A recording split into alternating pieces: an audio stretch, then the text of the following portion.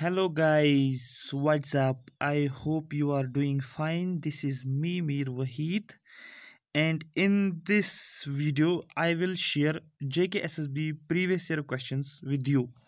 इसमें मैं आपको सबसे पहले जो साइंस का पोर्शन पूछा गया है, पिछले सात सालों से जो लास्ट सेवन इयर्स के पेपर हैं J K S S B का रिलेटेड टू साइंस हर एक का मैं अलग अलग एनालिसिस लेकर आऊँगा। लेकिन अभी मैं साइंस की बात कर रहा हूँ, क्योंकि मैं आपको साइंस पढ़ा रहा हूँ अपने चैनल के थ्रू वही सर्च अकेडमी के थ्रू तो आपको पता चलना चाहिए किस टाइप के क्वेश्चन जो हैं J K S S B ने ऑलरेडी पूछ चुका है इन टॉपिक्स में से।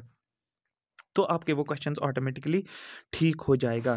जब हम पहले ही एनालिसिस करेंगे, जब मैं पढ़ाऊँगा आपको पता चलेगा कि नहीं हाँ ठीक है जे एस एस इस टाइप के क्वेश्चन पूछ लेते हैं तो आपको पता चलेगा कि सर किस डायरेक्शन से जा रहा है। इसलिए यहाँ पर मेरा पर्पज़ यही है। इसलिए मैंने आपको पहले भी पेपर सेंड किया था, आपको पता चलना चाहिए कि ओरिएंटेशन क्या होती है एग्ज़ाम को पूछने के लिए क्वेश्चन को पूछने के लिए तो उस हिसाब से हम चीज़ों को कर लेते हैं ओके राइट? तो ज़्यादा से ज़्यादा शेयर करो वही सर्च एकेडमी को, ज़्यादा से ज़्यादा फॉलो करो, सो दैट आपको फ़ायदा मिले यहाँ पर, वो भी फ्री ऑफ़ कॉस्ट में। दूसरी बात, जितने भी आपके फ्रेंड्स हैं, उनको अभी पता नहीं है, सबको ऑलमोस्ट पता नहीं है मैक्सिमम बच्चों को, कि वही सर नहीं पढ़ा रहे हैं, ठीक है? तो उनको ये भी पता शेयर करो तो उनको पता चलेगा, उनको भी फ़ायदा हो जाएगा, क्योंकि सबका फ़ायदा हमें देखना है यहाँ पर। बाकी आप जितनी मेहनत करोगे, उतना आप लोगों को फ़ायदा होगा। Right? right? This is me Mir Waheed as you all know में आज जो हम डिस्कस करेंगे, वो मैं J K S S B graduate level exam paper 2013 से लेकर 2019 तक हम देखेंगे साइंस में जो जो क्वेश्चंस होंगे, उन क्वेश्चंस को देखेंगे हमें आंसर नहीं देखना है। हमें सिर्फ़ क्वेश्चंस देखने हैं और उसमें आंसर्स क्या क्या है, क्या दिया गया ऑप्शंस में, उस हिसाब से क्वेश्चन सो दैट आपके जहन में आ जाएगा कि हाँ किस तरीके से साइंस को पढ़ना है बायो में कितना इंपॉर्टेंस दिया जाता है। आ रही बात समझ या फिजिक्स और केमिस्ट्री में कितना इंपॉर्टेंट क्योंकि ये वही सिमिलर सिलेबस हैं जो पिछले एसएसबी के सिलेबस में पहले जितने भी ग्रेजुएट लेवल के एग्ज़ाम्स हो गए थे जे के ने कंडक्ट करा सेम सिलेबस है साइंस का साइंस में कोई भी चेंज नहीं है। ये समझो कि ये उतना इंपॉर्टेंट है जितना आपको कि एग्ज़ाम में अपियर होना इंपॉर्टेंट है। अगर आप एग्ज़ाम में अपियर नहीं होंगे तो आप फेल हो जाओगे। एग्जैक्टली exactly वैसे ही पेपर की एनालिसिस बहुत ज़्यादा इंपॉर्टेंट होती है उस सब्जेक्ट को तैयारी करने से पहले। आपको एक आइडिया मिल जाता है। इसलिए मैं साइंस का यहाँ पर, क्योंकि इसमें कॉमर्स वाले बच्चे होते हैं आर्ट्स वाले ह्यूमैनिटीज़ वाले, उन बच्चों ने साइंस नहीं पढ़ा होता उस तरीके से। ठीक है तो इसलिए ये मैं यहाँ पर लेकर आया हूँ सो दैट उनको एक ब्रॉड व्यू मिलेगा कि किस तरीके से साइंस को याद रखना है। क्योंकि साइंस में से दस में से दस उठा सकते हो। ये एक इसमें गारंटी है। अगर अच्छे तरीके से कवर किया जाएगा सिलेबस को, दस में से दस ले सकते हो। चलो हम स्टार्ट करते हैं। पीडीएफ के थ्रू मैं दिखाऊँगा आपको। सो so देट वहाँ से हाँ ये मैंने पीडीएफ ऑलरेडी रखा था यहाँ पर। हाँ। ये ग्रेजुएट लेवल 2019 में क्वेश्चंस पूछे गए थे। ये इंग्लिश वाला सेक्शन है, हमें साइंस में जाना है। एक एक करके मैं लेकर आऊँगा सबका, लेकिन अभी जो मैं पढ़ा रहा हूँ, हम उस पर जाएँगे सो दैट आप साथ साथ चीज़ों को लिंक कर सकते हो। जी के, अब जम्मू एंड कश्मीर जब मैं आपको पढ़ाना शुरू कराऊँगा तो वहाँ से वो इसका एनालिस लेकर आऊँगा। अभी जनरल साइंस की, यहाँ पर आप देख सकते हो जनरल साइंस के जितने भी क्वेश्चन होते हैं, वो हम देखेंगे। ये टू में किस टाइप के क्वेश्चन पूछे गए हैं, ये हम देखेंगे यहाँ पर, ठीक है? यहाँ पर देखो the term Gibrat ratio, याद रखो, Gibrat ratio is associated with इसका मतलब जब आप पढ़ोगे conventional and non conventional source of energy पढ़ोगे तो क्योंकि ये solar energy nuclear energy tidal energy wind energy तो दैट मीन्स आपको पता होगा कि गिब रैट रेशियो क्या है जब आपने इसको एनालिसिस पढ़ी होगी, अच्छे तरीके से पढ़ा होगा। दैट मीन्स देखो किस टाइप का क्वेश्चन पूछा जाता है। आपने कन्वेंशनल नॉन कन्वेंशनल तो पढ़ा होगा कहीं ना कहीं से, लेकिन यहाँ पर देखो क्वेश्चन किस टाइप का पूछा गया। ठीक है? तो अगर आपने वो चीज़ें कवर नहीं किया तो दैट मीन आपने इनकम्प्लीट प्रेपरेशन की है। उसके बाद एक और पूछा गया, यहाँ पर देख लेते हैं the food making process in green plants इस टर्म एज ये मैं दो दिनों से बोल रहा हूँ आपको। जो न्यूट्रिशन का पहला लेक्चर भी था, दूसरा लेक्चर भी था, आज जो लेक्चर मैंने आपको दिया, उसमें भी मैंने ये डिस्कस किया। बार बार ये रिपीट हो रहा है हर टॉपिक में से तो आप खुद आंसर इसका बता सकते हो food making process in green plants green plants food prepare करते हैं और उस प्रोसेस को क्या बोलते हैं? सबको पता है फोटोसिंथेसिस जब मैं बोल रहा था कि कार्बन डाइऑक्साइड वाटर सनलाइट का प्लांट्स यूज़ करते हैं और वो फ़ूड प्रिपेयर करते हैं C six H twelve O six in the form of glucose ये मैंने आपको बता दिया। इसका फोटोसिंथेसिस आँखें बंद करके आपको क्वेश्चन ठीक लगेगा। क्वेश्चन यहीं पर ख़त्म नहीं होता। आपको पता होना चाहिए पॉलिनेशन क्या होता है, आपको पता होना चाहिए ट्रांसपायरेशन क्या होता है, आपको पता होना चाहिए ऑस्मासिस क्या हो, कहाँ पर लेकिन जब हम ट्रांसपोर्टेशन पढ़ेंगे, ठीक है ट्रांसपोर्टेशन पढ़ेंगे, वहाँ पर हमें ट्रांसपायरेशन को भी देखना पड़ेगा ऑस्मासिस को भी देखना पड़ेगा और पॉलिनेशन को भी हम डिस्कस करेंगे वहाँ से, ठीक है। तो ये तो आपको पता ही है। ये है फिजिक्स में दिया गया है। The example of wave where the particles in the medium move parallel to the direction in the propagation of wave. आपको पता है, एक होता है ट्रांसवर्स वेव्स, एक होता है लॉन्गिट्यूडल वेव्स। ठीक है? तो आपको समझना क्या है ट्रांसवर्स वेव्स क्या होते हैं लॉन्गिट्यूडल वेव्स क्या होते हैं? फिर एग्जाम्पल्स क्या होती है ट्रांसवर्स वेव्स की और लॉन्गिट्यूडल वेव्स की एग्जाम्पल्स क्या है? और यहाँ पर जो क्वेश्चन पूछा गया है, ये पूछा गया है एग्जाम्पल्स में से। कार्य बात समझ क्योंकि ये एक डेफिनेशन है। या तो ये डेफिनेशन ये तो मैं नहीं बताऊँगा किसकी डेफिनेशन क्योंकि हमने अभी नहीं पढ़ा। या तो ये डेफिनेशन ट्रांसवर्स वेव की, या तो वो डेफिनेशन लॉन्गिट्यूडल वेव्स की। तो आपको पैरेलल पहले पता चलेगा ये कौन सा है। फिर आपको पता होगा कि ट्रांसवर्स में आपने नोट्स में कौन से एग्ज़ाम्पल लिखे और लॉन्गिट्यूड में एग्ज़ाम्पल कौन से उस एग्ज़ाम्पल से क्वेश्चन पूछा गया। इसमें से जो भी होगा, वो हम आगे देखेंगे जब हम फिजिक्स को कवर करेंगे। नेक्स्ट जो है that is what is the international day for prevention of ozone layer celebrate every year हर साल ओजोन लेयर जो है प्रिवेंशन के बारे में उसको सेलिब्रेट किया जाता है, ठीक है? सेलिब्रेशन किया जाता है।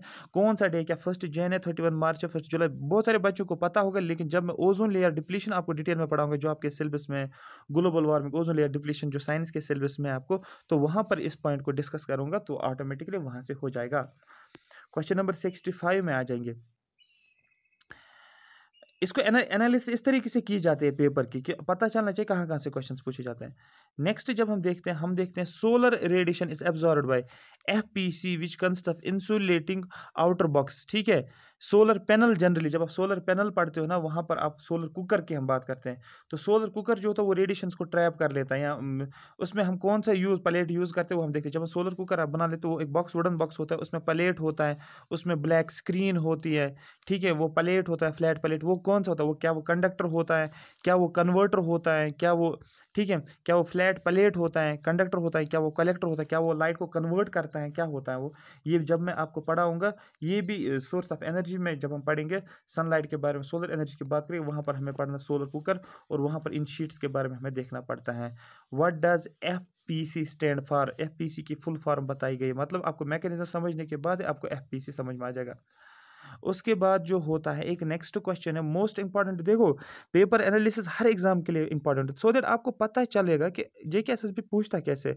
आप डायरेक्ट याद करके तो नहीं जाओगे ना कि drying of wetting cloth is an example ना आपको पहले समझना है कि कंडेंसेशन फ्रीजिंग इवापरेशन मेल्टिंग ठीक है आपको पता चलना चाहिए, जैसे वेट क्लोथ्स का ड्राई होना, ठीक है, आपके पास आपने कपड़े धोए हैं, फिर आप कहाँ पर लगा, सुखाने के लिए लगाते हो, वो ड्राई हो जाता है। ऐसा क्या होता है कि वो ड्राई हो जाता है? क्या मेल्टिंग होती है? क्या इवापरेशन होता है? क्या वो फ्रीज होता है? क्या वो कंडेंस होता है? सबको पता है इवापरेशन जो भी है, इसका आंसर लेकिन ये कॉमन सेंस का क्वेश्चन अगर आपने पढ़ा भी नहीं होगा स्टिल आपको पता ही है कि इसमें, इसका आंसर क्या होगा। उसके बाद which of the following instrument is use to measure the following current in the electric circuit electric circuit जो होता है, आपने देखो कि इलेक्ट्रिक सर्किट होता है हमारे पास, ठीक है? तो उसमें क्या होता है? करंट फ्लो होता है। एक सर्किट हमारे पास होता है, मैंने सर्किट बना लिया। उसके थ्रू करंट फ्लो होता है। अब इलेक्ट्रिक करंट के सर्किट के थ्रू जो करंट फ्लो होता है, उसको हम किस इंस्ट्रूमेंट से मेजर करते हैं? क्या वोल्ट मीटर है, क्या एमीटर है, क्या एनिमोमीटर क्या हाइड्रो आपको पता होना चाहिए वोल्ट मीटर किस लिए यूज़ किया जाता है। एमीटर किस लिए यूज़ किया जाता है? वोल्ट मीटर होता है पोटेंशियल डिफरेंस पड़ा होगा आपने। एमीटर होता है करंट को मेजर करने के लिए। हाइड्रोमीटर होता है, एनिमोमीटर, ये हम सब कुछ देखेंगे कौन कौन सा इंस्ट्रूमेंट किसके लिए होता है। दैट इंस्ट्रूमेंट से भी क्वेश्चन आते हैं जो आपका फिजिक्स का पार्ट है, जो हमें पढ़ना है। इलेक्ट्रिसिटी ठीक है? उसके बाद नेक्स्ट जो है which of the following is the limitation of wind energy pertaining to wind power generation that mean जब आप conventional and non conventional source of energy आप पढ़ते हो, वहाँ पर आपको विंड एनर्जी पढ़ते हैं। विंड मिल के बारे में आपको पढ़ना है। क्या ये कन्वेंशनल है या नॉन कन्वेंशनल है और किस तरीके इसकी लिमिटेशंस क्या है? इसके, क्योंकि हर एक सोर्स ऑफ़ एनर्जी जो है आपको आपको इसके एडवांटेज भी पढ़ने हैं और आपको उसके लिमिटेशन भी पढ़ते तो विंड पावर की अगर आप बात करोगे, इसमें क्या है? ये इसके ऑप्शन है, आपको देखना है। क्या ये पोल्यूशन फ्री है? हाँ विंड एनर्जी से कोई पोल्यूशन नहीं होता है। Clean energy wind energy is clean क्या है क्लीन होता है? Wind power develop takes up less land ये सब कुछ हमें देखना पड़ता है कौन कौन सा इसमें आ जाएगा दूसरा होता है लिमिटेशन लिमिटेशन इसमें देखने में ड्रॉबैक इसका क्या होता है? लिमिटेशन क्या है? तो ये सीधे हमें पता चलेगा उसके बाद है, फिजिक्स में ही पूछा गया है, uniform and non uniform motion से क्वेश्चन पूछे गए हैं। तो आपको पता चलना चाहिए नॉन यूनिफॉर्म एक्सेलरेशन क्या होते हैं और यूनिफॉर्म एक्सेलरेशन क्या होते हैं। ये सबको पता है, एक्सेलरेशन का क्या होता है, एक्सेलरेशन का यूनिट क्या होता है। ठीक है वेलोसिटी को डिफ्रेंशिएट करेंगे तो क्या मिलेगा, ठीक है? ये सब कुछ सब कुछ हमें पता चलेगा, डिस्टेंस को, डिस्टेंस कहाँ से मिलता है, सब कुछ देखें फिजिक्स का है।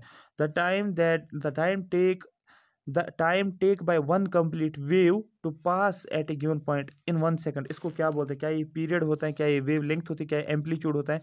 क्या ये स्पीड होता है? जब भी आप क्या बनाते हो, वेव एक होती है, उसका एम्पलीट्यूड भी होता है। जैसे ये वेव है, ये इसका एम्पलीट्यूड हो गया, ये इसकी वेव लेंथ हो गई, जिसका लेमडा आप बोलते हो, एम्पलीट्यूड हो गया, ए आप लिखते हो।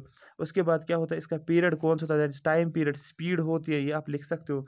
ठीक है, बहुत सारे कंपोनेंट्स होते जब आप वेव्स पढ़ोगे वेव्स का चैप्टर जो होता है, उसको डिटेल में पढ़ते लॉन्गिट्यूड ट्रांसफ़र फिर डायग्राम से आपको समझना होता है, तब आपको ये चीज़ पता चलेगा। एक कंप्लीट वेव जो होती है, ये एक कंप्लीट वेव हो जाती है। यहाँ से वेव ने स्टार्ट किया, ये इसका आधा हो गया, ये वेव का पूरा कंप्लीट हो गया। यहाँ से यहाँ तक आने में एक वेव ने कंप्लीट एक ये किया है। इसको कितना टाइम लगता है, आपको पता होना चाहिए। इसको क्या बोलते हैं, क्या पीरियड होता है स्पीड होता है, ये बाद में देखेंगे। हमें आंसर से मतलब नहीं है, लेकिन पता चलना चाहिए किस तरीके से हम चीज़ों को कर सकते हैं। Which of the following pair of nutrients release from land use release from land use activities contaminate the water bodies leading to abnormal algae growth to the surface ये पोलूशन से क्वेश्चन है। ये पोलूशन से question है। आप देख सकते हो, उसको बोला जाता है एक टॉपिक है इकोलॉजी इन्वायरमेंट में ये टॉपिक है। ठीक है, मुझे अभी याद नहीं आ रहा क्या है उसका तो बहुत ज़्यादा इंपॉर्टेंट है ये। ठीक है, जब वो मिनरल्स किसमें चले जाते हैं वाटर के अंदर चले जाते हैं, ठीक है। अभी मुझे पूरा जहन में नहीं है, ठीक है? ये हमें वहाँ पर पढ़ना है कि ऐसा कौन कौन से न्यूट्रंट्स होते हैं जो हम रिलीज़ करते हैं, फिर वाटर बॉडी के साथ मिल जाता है, जहाँ पर वो अलगल ब्लूम बन जाता है, उसको कुछ बोलते हैं। इंसरेशन तो नहीं बोलते हैं उसको, कुछ बोलते हैं उसको, मुझे पूरा अभी याद नहीं आ रहा है। इकोलॉजी इन्वायरमेंट का ही पार्ट है मतलब साइंस का पार्ट है, आपको ये पढ़ाना पड़ेगा। Which biotic component of ecosystems also energy transducer आपको पहले इकोसिस्टम समझना है, फिर इकोसिस्टम के कंपोनेंट्स को समझना है, फिर आपको उसमें से एक डिटेल पढ़ना पड़ेगा एनर्जी ट्रांसड्यूसर किसको बोलते हैं? ट्रांसड्यूस पहले पता होना चाहिए। क्या प्रोड्यूसर होता है? सबसे पहले पता होना चाहिए प्रोड्यूसर कौन होता है? जो खुद क्या करता है? एनर्जी प्रोड्यूस करता है। ठीक है, फिर हर्बीवोर होता है, जो घास खाता है, फिर कॉर्निवोर होता है, ठीक है, जो मीट खाता है, फिर डिकम्पोजर होता है, जो डिकम्पोजिशन करता है। तो आपको पता होना चाहिए एनर्जी ट्रांसड्यूसर कौन सा होता है? क्या वो प्रोड्यूसर होता है, कौन सा होता है, ये हम आके आगे देखते हैं। कुछ आइडिया आ रहा है, आपको ये बहुत ज़रूरी समझना है। मैंने कल थोड़ा सा क्लोरोफिल बोला था, मैंने बोला था फोटोसेंस में क्या होता है? ग्रीन प्लांट्स होते हैं और उन ग्रीन प्लांट्स में क्या होता है? एक पिगमेंट होता है जिसको बोला जाता है ग्रीन जिसको क्लोरोफिल बोलते हैं, जो कि हेल्प करता है किसमें? जो कि फोटोसेंस में, इसमें रोल होता है। ये सिर्फ़ ग्रीन प्लांट्स में होता है जिनका ग्रीन पार्ट होता है। लेकिन मैंने आपको डिटेल में नहीं पढ़ाया क्लोरोफिल क्या होता है? ये इस टॉपिक में नहीं है, वो एक्चुअली हमें आगे टॉपिक पढ़ना होता है, ठीक है? जब हम ट्रांसपोर्टेशन पढ़ेंगे जाइलम फ्लोएम पढ़ेंगे प्लांट्स के रिलेटेड पढ़ेंगे हम, ठीक है? न्यूट्रिशन इन प्लांट्स पढ़ते हैं तो प्लांट्स में ही हमें पूरा डिटेल में पढ़ना पड़ता है क्लोरोफिल के बारे में। और कौन सी रिंग होती है जिसको बोलते हैं, फोरफोरिन रिंग होती है और उसमें क्या होता है, क्या कोबाल्ट होता है, क्या मैग्नीशियम होता है, क्या आयरन होता है, क्या जिंक होता है, बहुत ज़्यादा। ये हो गया डीप क्वेश्चन, ये क्वेश्चन तो पूछा इसने। इसने डायरेक्ट क्वेश्चन नहीं पूछा, इसने फोटोसेंसिस पे क्वेश्चन पूछा है क्लोरोफिल पे, लेकिन इसने बहुत ज़्यादा डीप ये चला गया इसके अंदर कि ये परफोरिन में होता है, क्या है। इसको रटा याद नहीं रखना है, रटा रख सकते हो, लेकिन ये है कि काम नहीं करेगा, फिर कुछ भी पूछ सकते हैं।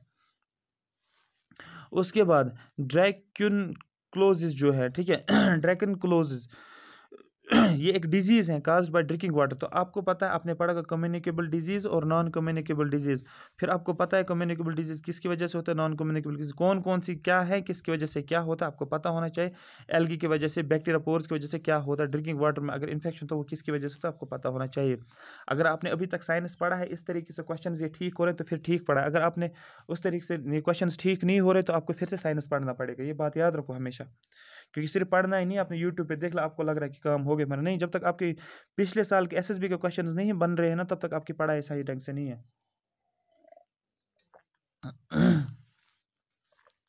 उसके बाद which of the following is advantage of solar energy मैंने अभी कुछ नहीं पढ़ाया साइंस का, मुझे तो अभी दो ही लेक्चर हो गए, तीन ही लेक्चर आज तीसरा था, ठीक है? उस टॉपिक पे जो क्वेश्चन होंगे, देख लेते हैं आगे। Which the following is a is a disadvantage of solar energy solar energy मतलब ये कन्वेंशनल और नॉन कन्वेंशनल एनर्जी से क्वेश्चन हैं। नेक्स्ट जो है which of the following chemical is not an ozone depleting substance मतलब बोला जाता है ओजोन डिप्लीशन किसकी वजह से सबको पता है क्लोरोफ्लोरो जहाँ पर भी क्लोरीन है क्लोरीन है क्लोरीन उसकी वजह से होता है। यहाँ पर भी क्लोरीन है, यहाँ पर भी क्लोरीन है, यहाँ पर भी क्लोरीन है। तो आगे देखते हैं क्या होता है, किसकी वजह से होता है, किसकी वजह से नहीं होता जब मैं ओजोन डिप्लीशन आपको पढ़ा दूँगा डिटेल में। अभी मैंने विटामिन नहीं पढ़ाया बट स्टिल आपको पता होना which the following vitamin response for blood clotting के लिए vitamin A C D and K हमारे पास होते हैं। ए हमारे पास ए डी सी एंड के होता है और B and A D E and K और बी एंड सी होता है। आद, चार को बोला जाता है वाटर सॉल्युबल विटामिन और होता है फैट सॉल्युबल विटामिन तो आपको पता होना चाहिए वाटर सॉल्युबल कौन सा फैट सॉल्युबल कौन सा था? किसका क्या रोल था? ब्लड क्लॉटिंग में। कौन सा हेल्प करता है? कि मैंने आज के लेक्चर में आपको बताया कि कल हमें विटामिन को डिटेल में पढ़ना है। आपका क्वेश्चन ऑटोमेटिकली बन जाएगा। दैट मीन्स आपको पता होना चाहिए ब्लड क्लॉटिंग किस लिए आपको पता है के होता है। लेकिन ये भी पता होना चाहिए सी का मतलब क्या है? ए के का मतलब क्या है? ई e का मतलब क्या है? ठीक है, ये चारों के चार फैट है वाटर है। इस तरीके से जान, चीज़ों को जाना जाएगा। यहाँ पर फिर से देखो विटामिन से एक और क्वेश्चन है, इसलिए हमें विटामिन को डिटेल में पढ़ना पड़ेगा। Select the option that will make the second pair analogues ठीक है? विटामिन बी वन इसको थाइमिन बोलते हैं, और फिर राइबोफ्लेविन किसको बोलते हैं? राइबोफ्लेविन आपको बोलना है राइबोफ्लेविन किसको बोलते हैं? क्या बी टू को बी थ्री के, ठीक है? बी फाइव को बी सिक्स को बी फाइव को पेंटोथिनिक एसिड बोलते हैं, फिर राइबोफ्लेविन किसको बोलते हैं, ठीक है? तो ये आपको पता करना है। ये मैं कल बताऊँगा तो ये क्वेश्चंस दोनों आपके ठीक हो जाएगा टू द पॉइंट हो जाएगा। The circulation of water between ocean atmosphere and land is known as water ठीक है? सर्कुलेशन कहाँ से? ओशन से वाटर निकलना ये ओशन है, फिर एटमॉस्फेयर में चला जाएगा, फिर ये लैंड के ऊपर एटमॉस्फेयर में क्या हो जाएगा, ठीक है? ये पूरा वाटर साइकिल ही बोलता है, ठीक है? ये पूरा साइकिल वाटर ही है तो आपको पता चल रहा होगा ये सर्कुलेशन को क्या बोला जाए। देखो कितने आसान क्वेश्चन भी हैं और कितने मुश्किल क्वेश्चन भी हैं। तो हर, आपको हर साइड से तैयार होना है। हर साइड से, आप मिस ही नहीं कर सकते किसी चीज़ को। ये गया सेवेंटी नाइन उसके बाद एटी वाला। इसका मतलब ट्वेंटी क्वेश्चन थे इसमें के टेन थे। Which of the following is an example of Newton third law motion जब मैं मोशन आपको पढ़ाऊँगा, मैंने पहले ही बोला था आपको आपको फ़र्स्ट लॉ भी पढ़ना है, आपको सेकंड लॉ भी पढ़ना है, आपको थर्ड लॉ भी पढ़ना है, फिर हर एक लॉ की एग्जाम्पल्स आपको पता नहीं। जब फ़र्स्ट लॉ आपको एग्जाम्पल्स फ़र्स्ट लॉ कॉन्सेप्चुअली समझ में आ जाएगा सेकंड और थर्ड लॉ आपको खुद समझ में आ जाएगा, ये एग्जाम्पल्स किस किस की हैं, क्या नहीं है, क्या नहीं है, ठीक है? रिकॉर्डिंग ऑफ़ गन का मतलब book lying on a table क्या होता है, ठीक है? पुशिंग ऑफ़ डोर का मतलब क्या होता है? पुलिंग ऑफ़ कार्ड का मतलब क्या ये किसके एग्ज़ाम्पल से आपको समझना है। ये हो गया एनालिसिस ये सिक्सटी तक हो गया, ये कहाँ से कहाँ तक था? ये हो गया सिक्सटी वन से लेकर हमने लिया है जनरल साइंस का up to seventy six eighty तक। मतलब बीस क्वेश्चन जो थे previous year two thousand nineteen में। ये तो इन्होंने जे इस आपके एफ़ ए में टेन मार्क्स लगा लिया, लेकिन साइंस की डिमांड ज़्यादा बढ़ती जा रही है। जितने भी आपके आगे एग्ज़ाम्स आने वाले हैं ना, उनमें साइंस का कंट्रीब्यूशन ज़्यादा होता है। और केस में भी जनरल साइंस से ही क्वेश्चन पूछा जाता है। जनरल साइंस यही होता है जो आप ऑलरेडी पढ़ रहे हो। एक और देखते हैं, एक और पेपर देखते हैं जो भी होगा इसमें। जिस साल का होगा, ठीक है? 2019 एक और है, देखते हैं इसमें क्या है। 2019 में जे के एस ने और कोई एग्ज़ाम कंडक्ट करवाया होगा ना?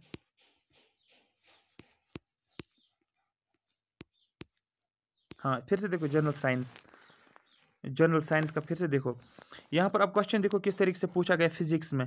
देखो, आपने केमिस्ट्री का कोई क्वेश्चन देखा? नहीं देखा। मतलब केमिस्ट्री में बहुत कम क्वेश्चन पूछे जाते हैं। मर्ज़ी है तो पूछा जाएगा एक या दो, ज़्यादा मैक्सिमम दो, कम से कम एक और कुछ भी नहीं पूछ सकता। ये भी ये भी पॉसिबिलिटी है। तो आप देखो यहाँ पर फिजिक्स केमिस्ट्री बायो में। बायो में सबसे ज़्यादा बायो और फिजिक्स में सबसे बायो में सबसे ज़्यादा क्वेश्चन पूछे जाते हैं। ठीक है यहाँ पर देखो kilometre per our per hour होता है ये किसका यूनिट होता है आपको पता स्पीड होती है क्या एक्सलेशन क्या होता है मोमेंटम क्या होता है मास होता है जब मैं पढ़ाऊँगा तो आपको पूरा पता चलेगा लेक क्या होता है क्या ये लोटिक होता है लेंटिक होता है मरीन होता है टेरेस्ट्रियल होता है आपको पता है ये ये क्या होता है लेक क्या होता है ये ये टेरेस्ट्रियल है मरीन है ये क्या होता है आपको पता चल चलेगा आगे पढ़ेंगे which of the following substance can exist in solid liquid and gas ऐसा कौन सा सबस्टेंस है जो सॉलिड्स के फॉर्मेट भी होगा लिक्विड में भी होता है और गैस के फॉर्मेट भी होगा? आपको पता है कैम्फर वुड वाटर नाइट्रोजन आपको पता होना चाहिए। देखते हैं आगे आगे जब पढ़ेंगे। अब देखो कितना अच्छा क्वेश्चन पूछा गया है, जो मैं बार बार पहले से रिपीट करके आ रहा हूँ कि ओजोन डिप्लीशन के लिए कौन सा ओजोन डिप्लीशन के लिए कौन सा है। जैसे मैंने बोला था यहाँ पर, एक मैंने बोला था मॉन्ट्रियल प्रोटोकॉल मॉन्ट्रियल प्रोटोकॉल किसके लिए था? और मैंने एक कीटो प्रोटोकॉल भी बोला था। लेकिन यहाँ पर क्या which the following convention protocol is related to pro protection of ozone layer ozone layer protection के लिए कौन सा है? ठीक है? क्या वेना कन्वेंशन है? क्या नागोया प्रोटोकॉल है? क्या कीटो प्रोटोकॉल है? ठीक है क्या यहाँ पर जेनेवा कन्वेंशन है? कौन सा इसमें से आपको आइडेंटिफाई करना है? जब मैं ओजोन लेयर डिप्लीशन आपको पढ़ाऊँगा, वहाँ पर मैं आपको बताऊँगा। ठीक है? ठीक है? ग्रीन हाउस गैसेस के लिए कौन सा होता है? ये सब कुछ आपको पता होना चाहिए। इसका मतलब हमें विना कन्वेंशन को डिटेल में पढ़ना है नगोया प्रो, प्रोटोकॉल को कीटो प्रोटोकॉल को और और हम क्या करते हैं? हम पढ़ते हैं ओजोन लेयर डिप्लेशन क्या होते हैं? थिकनेस ऑफ़ ओजोन की थिकनेस कम होती है और ये इंटार्टिका में होता है। ये पहले कब हुआ था? नाइनटीन कब हुआ था? ये एटी फाइव में जो भी है तो हम इस तरीके से कर लेते हैं और बात खत्म चले जाता है इस तरीके से पूछा नहीं जाता है। फिर गवर्नमेंट भी कोई स्टेप ले लेते हैं उसको कंट्रोल करने के लिए ऐसा कौन सा कन्वेंशन है जो कि किया जाता है उसके रिलेटेड तो इस तरीके से चीज़ों को डिटेल में जानना ज़रूरी होता है। उसके बाद फिर से यहाँ पर एक और क्वेश्चन है। अभी न्यूट्रिशन पे एक ही क्वेश्चन हमने देखा पिछले पेपर में। ठीक है the combination of fossil fuels the combination of fossil fuels at power plants is the main source of emission of the following gases जो फोसिल फ्यूल्स पावर प्लांट्स में जो फोसिल फ्यूल्स का को कंज्यूम करते हैं, जो हमारे पास पावर प्लांट्स होते हैं, वहाँ पर हम फोसिल फ्यूल्स का यूज़ करते हैं, जहाँ से हमें एनर्जी मिलती है। अब वहाँ से क्या होता है, कुछ इमिशन होता है किस किस गैस का इमिशन होता है, जब आप फोसिल फ्यूल्स को बर्न करते हो पावर प्लांट्स में किस किस गैस का इमिशन होता है, आपको पता होना चाहिए लिस्टिंग पता होनी चाहिए मतलब पोल्यूशन से ये टॉपिक है।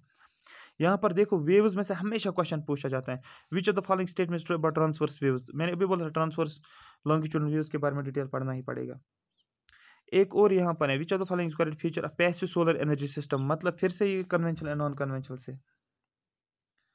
फिर से the secretion produce by glands in the lining of the stomach in human ये ये हो गया डाइजेस्ट जो ह्यूमंस का ये जो है ना डाइजेस्ट सिस्टम ह्यूमंस का, वहाँ से क्वेश्चन पूछा गया है कि स्टोमक की लाइनिंग होती है, जो हमारे पास स्टोमक होते हैं, इस तरीके से स्टोमक हमारे पास होता है ना। ये हमारे पास स्टोमक होता है, अगर आपने देखा होगा। तो स्टोमक में एक लाइनिंग होती है, ठीक है? ये लाइनिंग एक होती है स्टोमक की, उस लाइनिंग, जूस की लाइनिंग होती है, ठीक है? Secretion produce by glands in the lining. Lining के अंदर ग्लैंड्स होते हैं, वहाँ से सिक्रीशन होता है। उस जूस का नाम बताओ क्या स्यूकस इंटेरिकस हैं, बायल जूस हैं, गैस्ट्रिक है, इंसुलिन है, ये कहाँ से हैं? ये आपको पता होगा जब हम डाइजेशन को पढ़ेंगे, अगर आपके सिलेबस में होगा। Which of the following waves require medium to travel कौन सी वेव है जो जिसके लिए एक मीडियम चाहिए? सपोज़ ये लोकेशन ए है, ये लोकेशन बी है। लोकेशन ए से वेव तो जनरेट होगी, लेकिन इसको लोकेशन बी तक आना है। तो इसका क्या, इसको इसको मीडियम चाहिए होता है ट्रैवल करने के लिए। इसमें मतलब इसमें से कौन सी वेव है जिसको मीडियम की ज़रूरत होती है? ठीक है, जैसे आपको एक जगह से दूसरी जगह जाना आपको मीडियम चाहिए, आप गाड़ी कार ले लेते हो आपको बस के थ्रू जाते हो बाइक के थ्रू जाते हो, वो आपका मीडियम एक बन गया। फिजिक्स में फिर से एक क्वेश्चन है मोशन ऑफ़ पेंडलम पेंडलम का जो है आपको देखोगा पेंडलम ये देखोगा ठीक है, यहाँ तो इस तरीके से चला जाएगा, या तो यहाँ से चला जाएगा मैक्सिमम, यहाँ तक होता है मैक्सिमम कितना टाइम पीरियड लगता है पेंडलम को ट्रेवल करने में, क्वेश्चन पूछा जाता है। ठीक है, ये क्वेश्चन पूछा, टाइम पीरियड के ऊपर क्वेश्चन पूछा जाता है, क्या इसकी मोशन सर्कुलर होती है, रोटेशन होता है, पीरियडिक होता है। याद रखें, क्या ये सर्कुलर मोशन है, क्या ये पीरियडिक है, क्या ये पीरियडिक है रोटेशनल है सर्कुलर है लीनियर है, ये आपको पता होना चाहिए पीरियडिक मोशन जो भी है, हम देखते हैं जब हम पेंडुलम को डिस्कस करेंगे, अगर आपके सिलेबस में होगा। फिर से देखो ओजोन की बात यहाँ पर कितना आसान है। The unit of measurement use to express the thickness of ozone ozone की थिकनेस को मेजर करने के लिए किस यूनिट का यूज़ करते क्या पॉइस का यूज़ करते हो? ठीक है? क्या न्यूटन मीटर का, क्या डेसिबल का यूज़ करो क्या डॉप्सन यूनिट का करते हो? आपको पता है। सबसे पहले आपको पता होना चाहिए न्यूटन मीटर किसका यूनिट है? डेसिबल किसका होता है? ठीक है? साउंड को सुनते हैं हम डेसिबल के फॉर्मूले। पॉइज किसका होता है? ठीक है?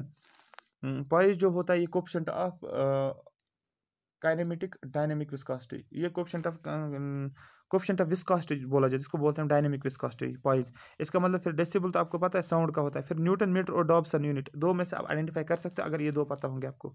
इस तरीके से चीज़ों को आइडेंटिफाई करना होता है। ये हो गया सेवेंटी वन सेवेंटी टू में देखो क्वेश्चन क्या है? Which of the following process helps in transportation of minerals from soil to all parts the plant क्या ये रेस्पिरेशन है, क्या एम्बाइबेशन है, क्या ट्रांसपा क्या ट्रांसपैरेशन है, क्या ट्रांसलोकेशन है? जब मैं आपको ट्रांसपोर्टेशन में ट्रांसपोर्टेशन का चैप्टर पढ़ाऊँगा, इसके बाद न्यूट्रिशन के बाद हमें पढ़ना पड़ेगा ट्रांसलोकेशन क्या होती है? जब मैं आपको डायग्राम्स के थ्रू दिखाऊँगा जाइलम मोड फ्लोएम फिर दिखाऊँगा मैं ट्रांसलोकेशन क्या होता है? जब मैं दिखाऊँगा, जो प्लांट होते हैं, उसके लीव्स होते हैं लीव्स के थ्रू जब हम क्या होते हैं, जो फ़ूड होता है, वो किस तरीके से डिफरेंट पार्ट्स ऑफ़ प्लांट्स तक आ जाता है। ठीक है? लीव से मूव करना, या सॉयल से मिनरल्स को निकल जाना। ठीक है? ट्रांसपोर्ट से मिनरल्स फ्रॉम सॉयल ये बोलता है सॉयल से जाना और फिर प्लांट्स के डिफरेंट पार्ट्स में चले जाना। ठीक है, उन मिनरल्स को। उसको क्या बोलते हैं? क्या ट्रांसलोकेशन है ट्रांसपायरेशन है, क्या इम्बाइबेशन है, क्या रेस्पिरेशन है? ये आपको पता होगा। सबको ऑलमोस्ट पता होगा, जिसने अच्छे से पढ़ा होगा। उसके बाद फिर से सोर्स ऑफ़ एनर्जी से क्वेश्चन मैं यहाँ पर फिर से फोकस कर सोर्स ऑफ़ एनर्जी से हमेशा क्वेश्चन पूछे। कन्वेंशनल और नॉन कन्वेंशनल पे दो तीन क्वेश्चन तो आपको मिल ही जाएगा। Which of the following statement is incorrect reference about tidal energy tidal energy के बारे में पूछा गया। टाइड्स जो मैंने आपको बताया था, ये अगर सी है और ये अगर यहाँ पर कोई एरिया है, हम क्या करते हैं, हम यहाँ पर एक प्रोजेक्ट बना लेते हैं ठीक है, इस तरीके से यहाँ से ओपन रखते हैं और यहाँ पर टर्बाइन रखते हैं। टर्बाइन इस तरीके से टर्बाइन के ब्लेड्स होते हैं और यहाँ से जो भी वेव आती है, ठीक है हाई टाइड आती है, ये किसको करता है, ये इसको शिफ्ट ये इसको टच करता है, वो हाई टाइड इसको एनर्जी देता है तो ये रोटेट करना शुरू कर देता है और ये पानी इसके अंदर चला जाता है और दूसरा ये पानी यहाँ से चला जाता है और दूसरी इस साइड से पुश करके फिर से वापस आ जाता है। इसको बोलते हैं टाइडल एनर्जी को किस तरीके से हम यूज़ करें, इसके एडवांटेज क्या है?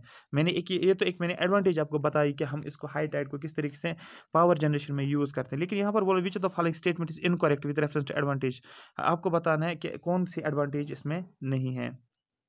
इलेक्ट्रिसिटी पता तो है आपको electricity can be generated with much more efficiently ठीक है? Construction coastal tidal power plants maintenance costly ये सब कुछ आपको पता है। Tidal current is highly unpredictable and inconsistent ठीक है? ये भी पता है।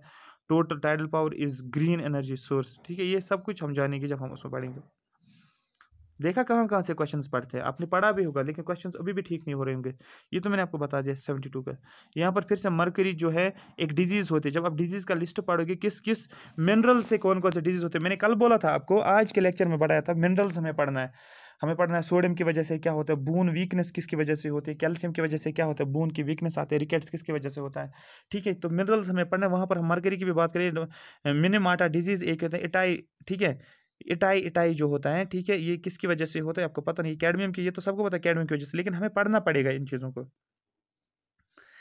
फिर से फिजिक्स में ही क्वेश्चन है, यहाँ पर which when a fan is switch off जब आप फ़ैन को स्विच ऑफ़ करते हो it continues to rotate still ये कंटिन्यूसली रोटेट क्योंकि अगर आपका फ़ैन चल रहा है पावर आपने ऑन किया फ़ैन चल रहा है, आपने स्विच ऑफ़ किए स्टिल वो चल रहा होता है, फिर कुछ एक मिनट में या कुछ सेकंड्स के बाद वो स्टॉप होता है। ऐसा क्या होता है? क्या मैकेनिज्म है? ठीक है when a fan is switch off it continues to rotate for some time before coming to the rest this is due to ये कौन सी ऐसी मोशन होती है जिसकी वजह से क्या फोर्स ऑफ़ एक्सेलरेशन है? इनर्शिया होता है इनर्शिया प्रेस्ट होता है इनर्शिया मोशन होता है। इसका इनर्शिया ऑफ़ मोशन होता है, क्योंकि बॉडी तब तक रेस्ट में रहेगी जब तक हम उसको स्टॉप तब तक मोशन में रहेगा जब तक हम उसको क्या करेंगे? रोकेंगे नहीं, या बॉडी तब तक रेस्ट में रहेगी, तब तब तक रेस्ट में रहेगी एक बॉडी जब तक हम उसको क्या करेंगे? उसको हम फोर्स अप्लाई नहीं करेंगे, जब तक हम उसको क्या करेंगे? मूव नहीं करवाएँगे। मतलब ये इनर्शिया का ही कॉन्सेप्ट है। Water helps control water water helps control our body temperature and allows uh, us to adapt to change in the environmental temperatures because it has water जो होता है हम water का use करते हैं जिसकी वजह से हमारा body temperature जो होता है वो control रहता है और हम environmental change जो होते हैं जो भी changes आते हैं environment में environmental temperature में change होते हैं तो हम उसमें उस हिसाब से खुद को adopt कर लेते हैं हम खुद को ये करते हैं क्या करते हैं अडॉप्ट करते हैं उस चेंज इन्वायरमेंट में कोई भी चेंज ये ऐसा क्या होता है कि वाटर के अंदर? बिकॉज़ वाटर की क्या हाई की हीट कैपेसिटी होती है लो हीट कैपेसिटी होती है हाई इंट्रॉफी होती है लो इंट्रॉफी मतलब ये वाटर की प्रॉपर्टीज़ के बारे में बताता है। क्वेश्चन एक्चुअली वाटर की बॉडी के वाटर की प्रॉपर्टीज़ पे पूछा गया है। Which of the following forms of energy drive a wind turbine ऐसी कौन सी एनर्जी है जिसकी वजह से हमारे पास विंड का जो टर्बाइन होता है, वो रोटेट होता है, ठीक है?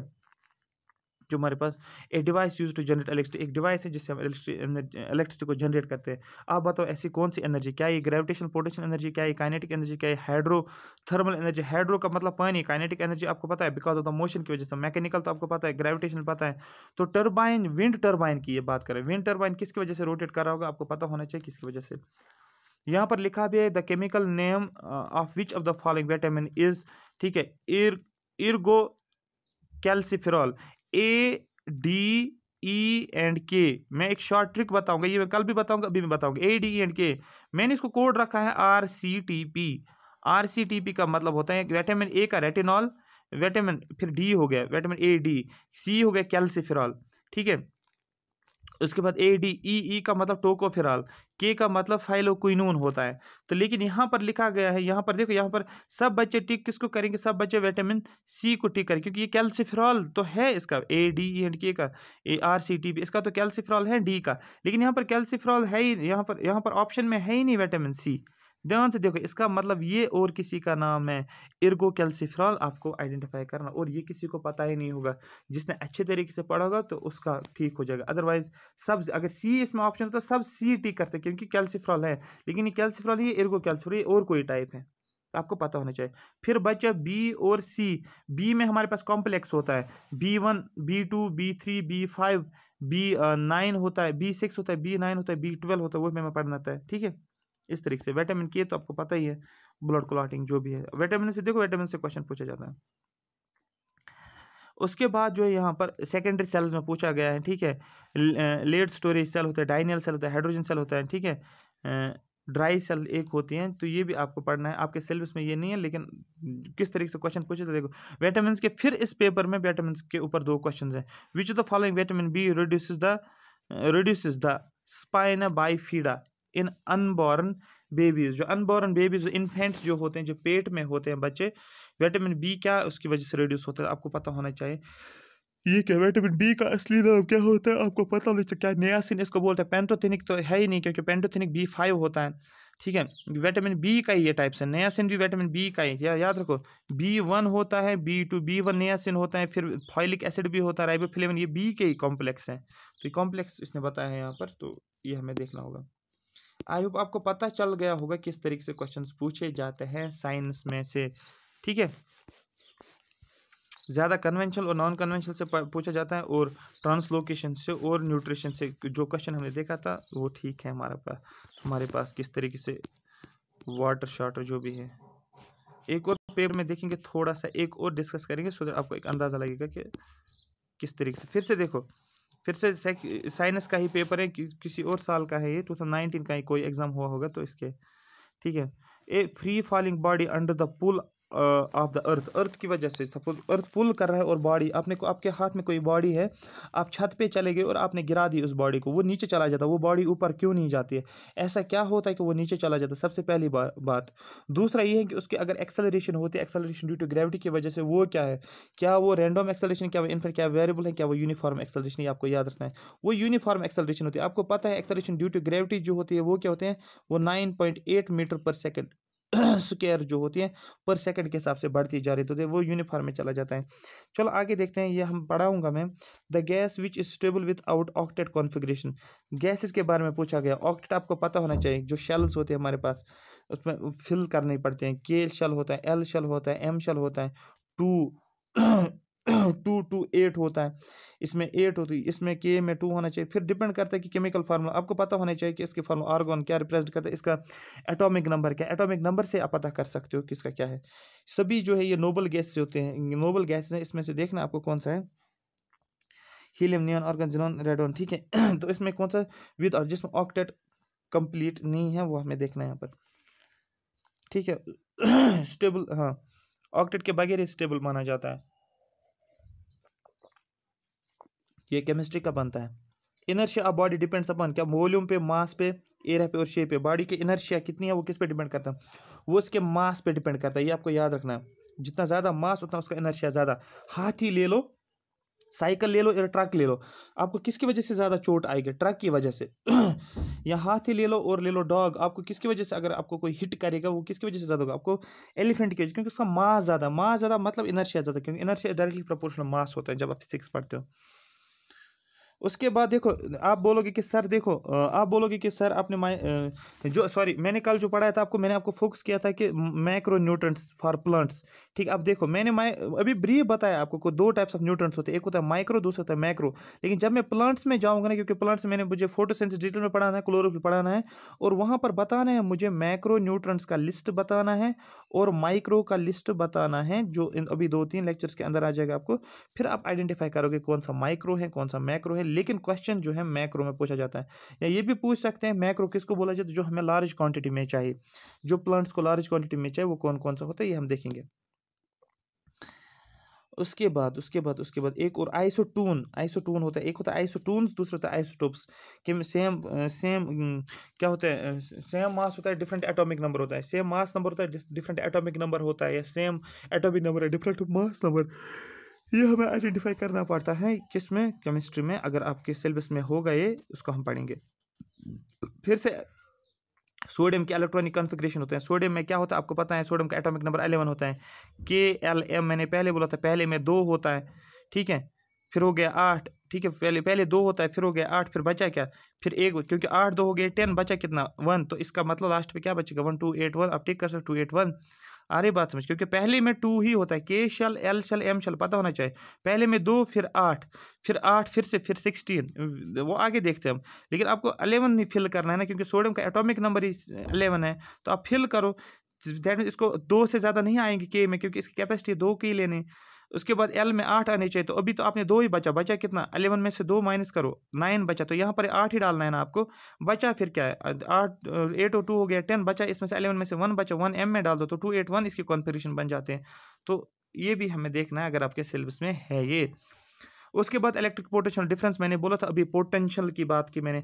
करंट अलग होता है रेजिस्टेंस अलग होता है कंडक्टेंस अलग होता है वोल्टेज अलग होता है। आपको बोलना इलेक्ट्रिक पोटेंशियल डिफरेंस क्या, आपको क्या बोला जाता है? क्या वो कंडक्टेंस है रेजिस्टेंस है करंट है, ये वोल्टेज है, ये हम देखेंगे कि पोटेंशियल डिफरेंस एक्चुअली क्या होता है।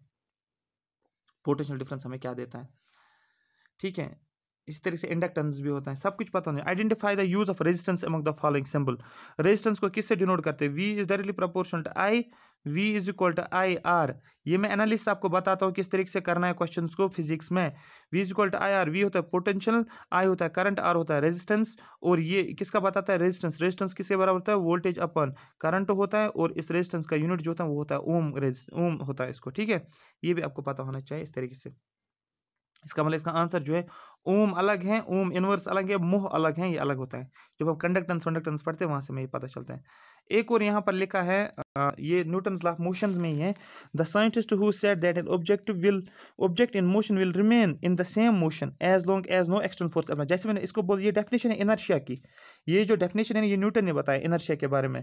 एक बॉडी जो होता है, वो तब तक रेस्ट में रहेगी जब तक उसको हम क्या करेंगे, जब तक हम उसको फोर्स अप्लाई नहीं करेंगे तो वो मोशन में आ जाएगा।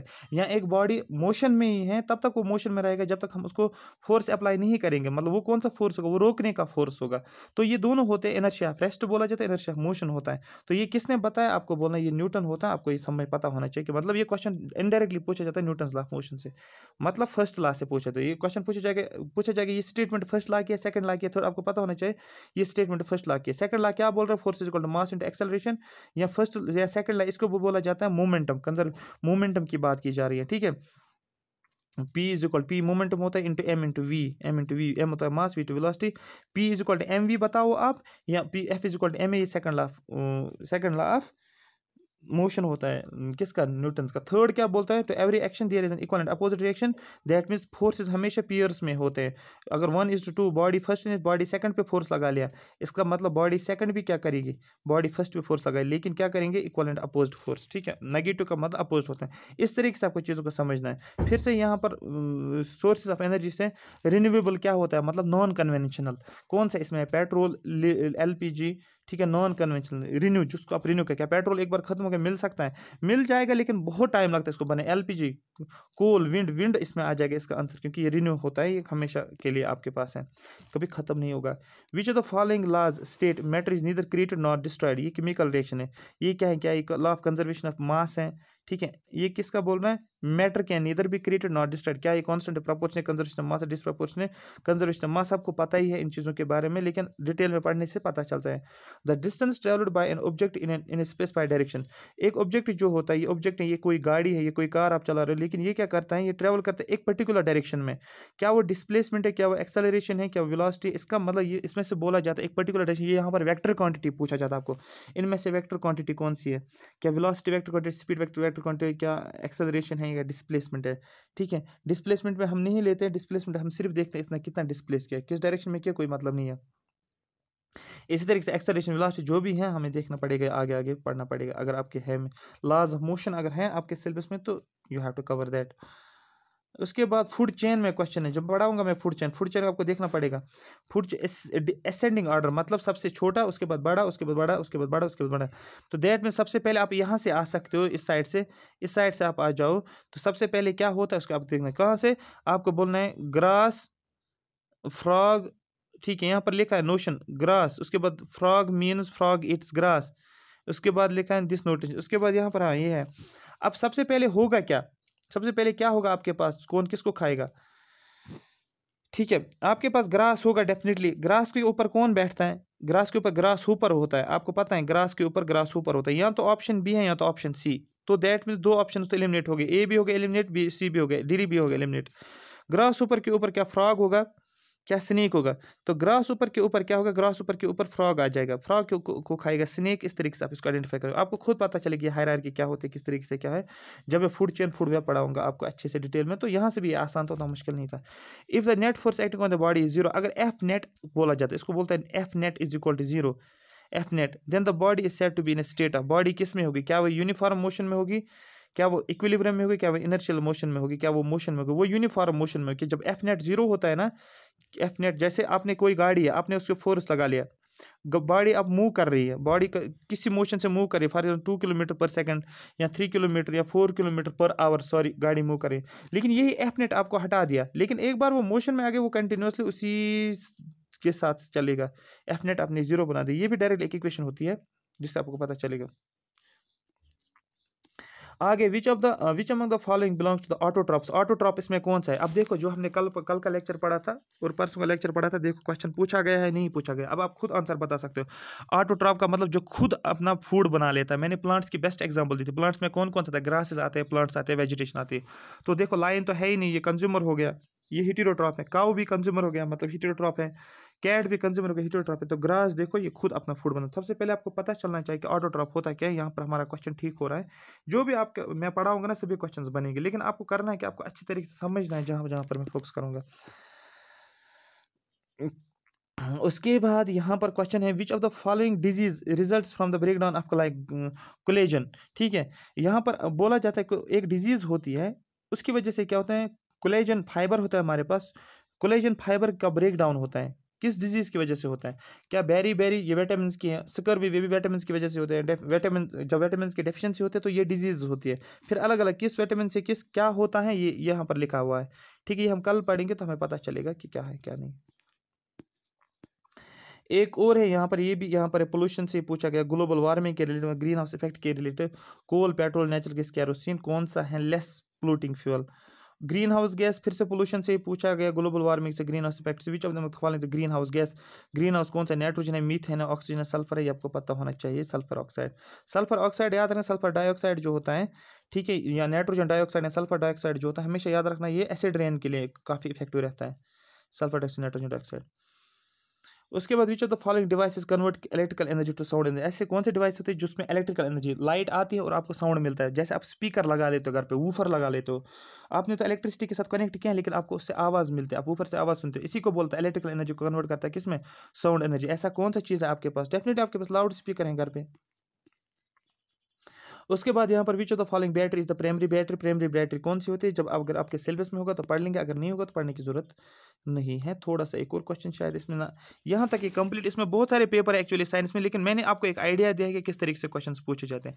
आई होप ये सेशन आपको अच्छा लग गया होगा, क्योंकि ये मैं सेशन इसलिए लेकर आया हूँ, क्योंकि आपको समझना ज़रूरी है पेपर की एनालिसिस तब आपको सॉरी तब आपको हाँ एनालिसिस आपके लिए बहुत ज़्यादा ज़रूरी है। क्यों ज़रूरी है? क्योंकि तब आपको पता चलेगा हम पढ़ क्या रहे हैं। जैसे मैंने आपको दो तीन, दो लेक्चर्स तो दिखा लिए, जो कि, जो न्यूट्रिशन के लिए लेकिन जो न्यूट्रिशन से क्वेश्चन पूछे गए तो वो तो आ चुके हैं ना?